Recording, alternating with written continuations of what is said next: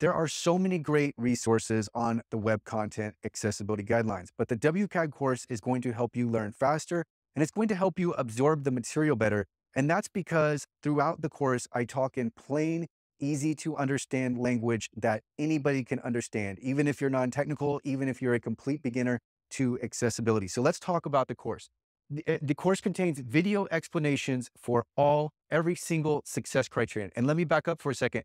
The, there are lessons in the course and each lesson is tied to one success criterion only. And so this will give you focus so that you can just focus in and pay attention to one success criterion at a time. As I said, there are video explanations. There are also text explanations. And within those text explanations, I provide examples of how to meet the, the given success criterion. And again, this is in plain English, plain, easy to understand terms.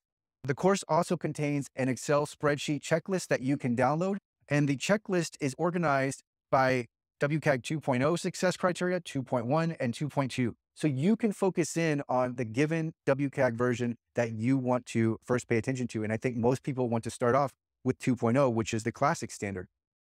The course also contains code examples. So this is one thing that would have really helped me when I was trying to learn the web content accessibility guidelines.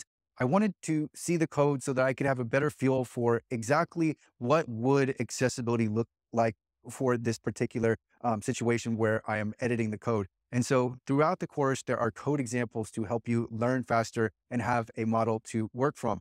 Um, also, I talked about the different versions in the spreadsheet. That also applies to the modules within the course. So as you're going through the course, you will find that the lessons are organized by the different versions of WCAG for conformance level AA.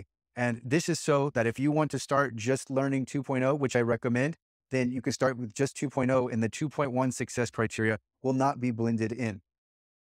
And then this course is designed to be streamlined. So what I mean is that the course is designed exactly how I would recommend someone start learning accessibility and going through the different requirements that comprise the web content accessibility guidelines. I've already made that consideration for you. So you're going to learn in the order that I think is best. And it's going to help you start with, with the more simple success criteria and then move on to different success criteria as they uh, arise in these different modules but I have all of, all of the explanations. You have the video explanation first, and then the text explanation. So you have two different ways to learn the material. And I think everything, everything is there for you. I designed it exactly as how I would want to learn from, learn the web content accessibility guidelines. And so everything has already been thought of for you. All you have to do is sign up for the course and start. And right away, you'll be met with your first lesson to help you start learning the web content accessibility guidelines. And then of course, there are so many benefits to taking this course. One is that the web content accessibility guidelines really are what is the basis for material compliance for all digital accessibility laws. It doesn't matter what law, they always come down to the web content accessibility guidelines. Even if they haven't incorporated the web content accessibility guidelines, the accessibility measures that are necessary come back to the principles that are found in WCAG. You can also include this in your accessibility statement. So it's a way of demonstrating genuine commitment because you have started training on accessibility. And that's what this is. It's a training program for accessibility. And this is one way to show your commitment. You are also developing skills. So you are making yourself more marketable in the marketplace, whether this is finding a job, whether this is attracting, attracting clients.